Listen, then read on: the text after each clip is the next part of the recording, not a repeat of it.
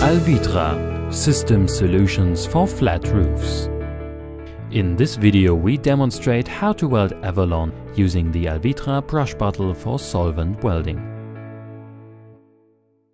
By using the alwitra brush bottle 2 to 3 meters seam per minute can be welded.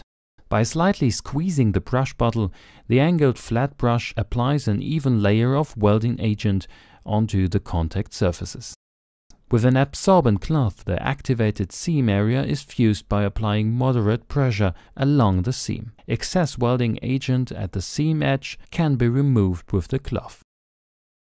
The seams have to be welded at a width of at least 30 mm using approximately 25 ml of solvent welding agent per meter. With high temperatures and dark color membranes, the required quantity rises.